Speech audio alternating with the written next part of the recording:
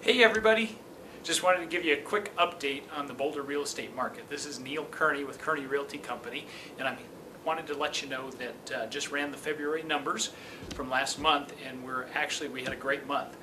Sales were up 16% compared with last year and that brings us year to date up almost 8%. So we're off to a really strong start.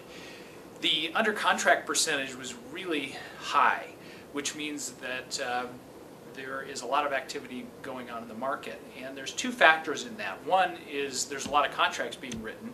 Uh, we're just about 30% of the market is currently under contract. So that means that two thirds of the market is available, one third is already spoken for. But the other part of the part of the equation is the number of listings out there, and we are actually really low uh, compared to past years.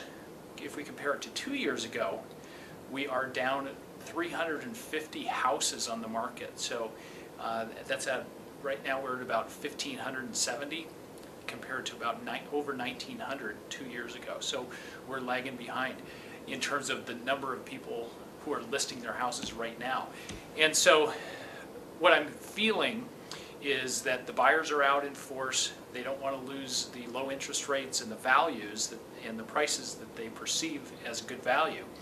And the sellers are waiting till our spring, and we're almost there. So we're going to have a convergence of the market, and I feel like this may be the, the time to uh, take advantage of low interest rates and the values that have been pretty stable over the last few years. So if you're ready to make a move, give me a call. I'd love to work with you.